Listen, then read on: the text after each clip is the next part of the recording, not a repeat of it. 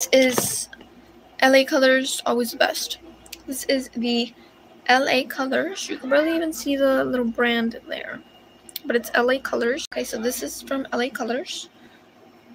This lip gloss is amazing. It smells amazing. This specific lip gloss smells amazing. The consistency is great. Obviously, you're not going to see a great consistency because it's probably expired right now. Oh, it just it just gives it a glow. It really is. Same thing I applied here. We're gonna apply it in our nose. Because it's where I applied highlighter. Look at that. Mmm. Looks so cute.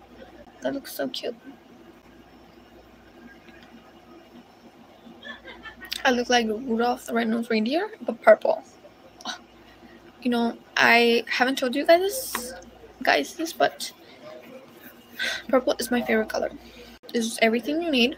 It's a mixture of bold, but natural, but light.